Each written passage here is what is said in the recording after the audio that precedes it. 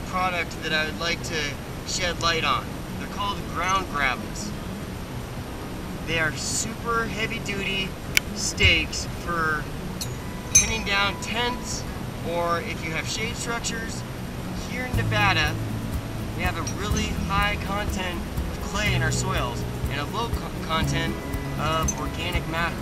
So the dirt here is amazingly, it's almost like a rock. I wouldn't even call it dirt. But um, these things work amazing.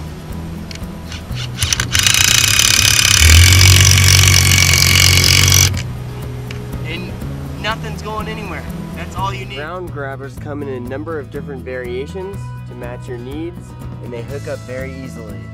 These can be installed using something as simple as a wrench, a socket wrench, or an impact driver.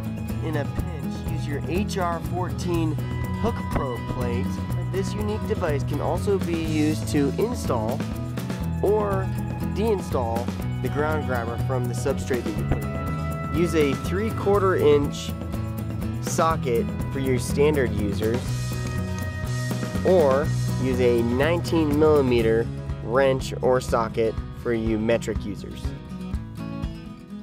We invite you to visit us online at www.groundgrabba.com. That's ground, G R A B B A.com. And also, be sure to like us on YouTube and Facebook.